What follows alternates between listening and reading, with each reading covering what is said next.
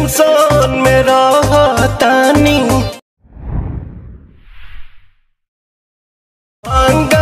जा छोड़ दी साफा। नमस्कार दोस्तों, स्वागत है आपको हमारे यूट्यूब चैनल राज हेल्पलाइन में। दोस्तों, आपसे बता दें, पवन सिंह पावर स्टार का बहुत बड़ा एक रिकॉर्ड बनाया।